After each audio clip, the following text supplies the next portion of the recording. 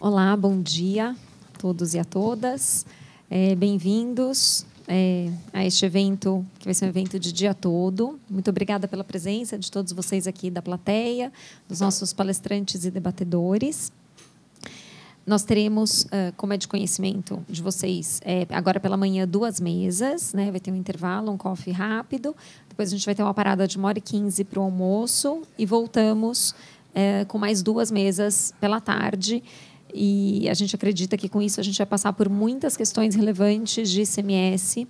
É um tema que merece ser discutido com esta profundidade que a gente propõe aqui neste evento e com a interlocução de muitos atores, né? Então não apenas advogados, mas também é, acadêmicos e acadêmicas e juízes e juízas do TIT, representantes da fazenda, representantes de empresa, porque dessa forma a gente entende que o debate fica mais plural, mais amplo e nesse sentido mais rico.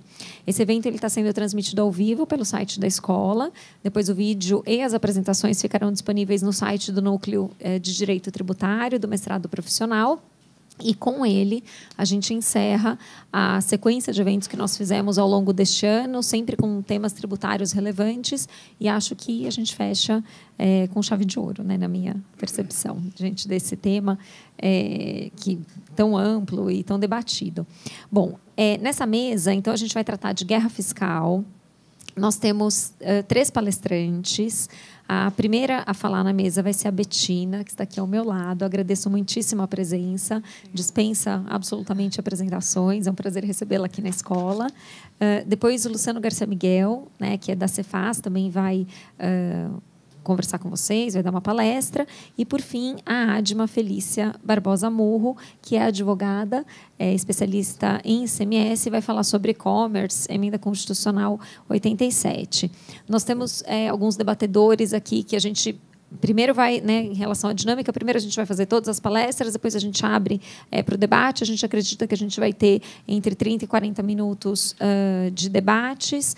É, nós temos aqui a Ana Lúcia Pires, é, como representante da Procuradoria-Geral do Estado de São Paulo, a Karen, que está a caminho, já está chegando e é co-organizadora desse evento comigo, Oswaldo Faria de Paula Neto, que é presidente da Câmara Superior do TIT, uh, o Leonel Cesarino Pessoa, que é, além de professor daqui da Escola de Direito da Fundação Getúlio Vargas, é também juiz do TIT, e a Fernanda Possebon Barbosa, é, que é advogada e uma grande parceira também na realização desse evento.